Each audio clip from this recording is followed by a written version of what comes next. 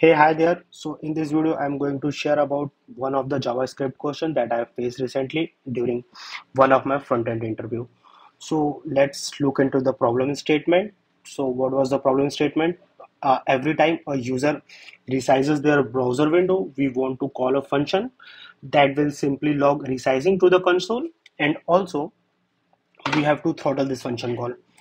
So let's see how we can do this so essentially we have to add one event listener to a window object. And what kind of event listener? It will be a resize. So whenever the window got resized it will call its callback. And there we will simply right now we will be consoling resize. So let's see if it works. Resizing okay. So if user want to decide yeah it works. So okay for simplicity what i will do i will quickly call one logger function. What logger function will do it will it will simply write console. It will log console resizing. Okay. So here it is. Now here we wanna call this logger function now let's run this.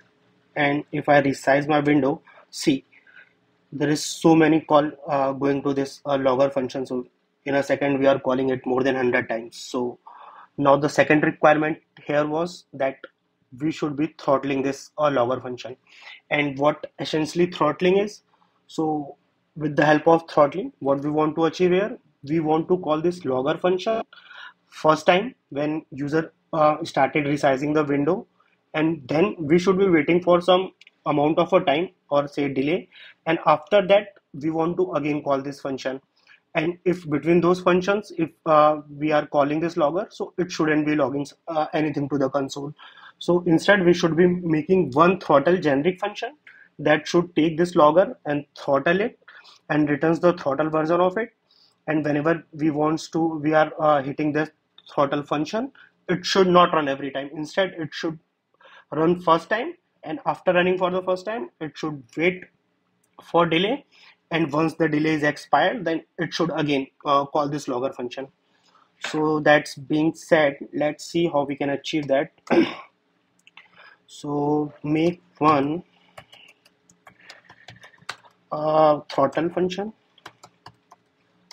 Throttle function what it will do it will simply take one callback function and a delay.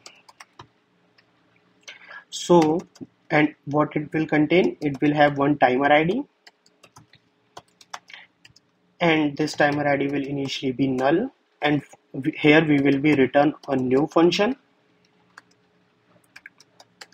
So and how this uh, return function will look it will what we want to do we first want to check yeah this function got called for the first time. So if it is got called for the first time this timer id must be null. So if it is null what we want to do? We want to call this callback function. Let's do it. And also if timer id is null it means uh, we are calling this for the first time. So if it is null make the statement true. It will go inside if statement uh, will execute our callback and then what we want to do? We want to set this timer id to set interval. Set timeout sorry. So what a set timeout will take? Set timeout will take a one callback and then it will take a delay as an other argument. And here what we want to do? See so whenever uh, for the first time uh, we are hitting this throttle function so if timer id is null okay cool. We are going inside it we are calling our callback and then we are setting one uh, timer. Uh, set we are setting one set timeout and we are assigning this timer id to whatever the timer id we are getting from the set timeout. So once that's done so next time whenever we are calling this so it will check okay uh, there is value in timer id so uh, let's not call it and wait for this particular delay so once that delay is expired, this set timeout uh, callback will get executed. And at that point of time what we want to do we want to again make this timer id equals to null so that okay we have waited for uh, this particular delay and now let's make it null again. So after uh, this delay this timer id will again be going to be initialized to null so next time whenever we are going to uh, hit this function it will check okay this time timer id is null. Now uh, we are going to call our callback and we are initializing timer id to whatever the timer id we are getting from the set timeout. So this code looks good to me. So we have this timer id we have this throttle function. Okay. So now what we want to do? We want to uh, throttle this logger function so let's pass this uh, to throttle function and we will say it is T-H-R-O-T throttle logger.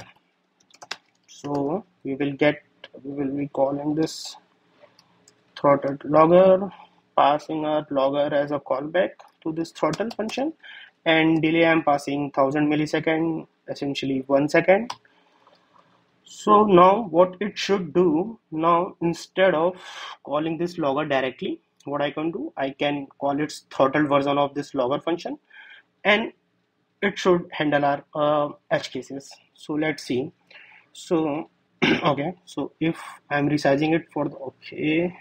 We have some reference error say before initialization we are trying to access logger before initialization. So let's put it here. Cool. Now see. We are just no as soon as I will stop a resizing window it will get stopped.